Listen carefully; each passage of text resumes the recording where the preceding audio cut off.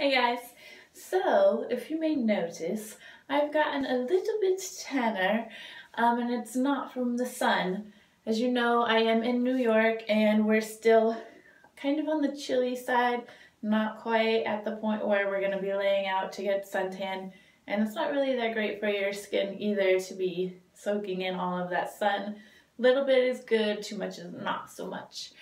Also, I don't go to tanning beds because that's really not good for you either. And spray tans are great, but they're also super expensive. So how do I have a tan in New York City right now, you may ask? Well, let me introduce you to Just Nutritive.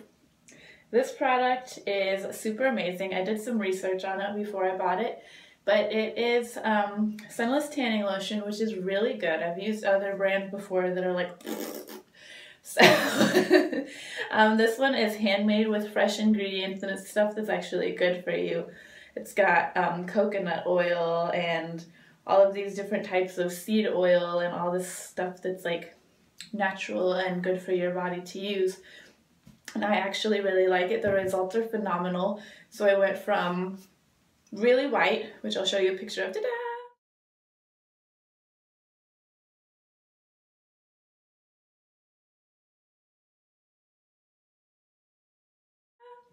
To super tan. So if you're looking for um, a healthier version option of tanning, um, definitely use this. It's super easy. You exfoliate your skin and then you make sure you're dry and you can apply it all over.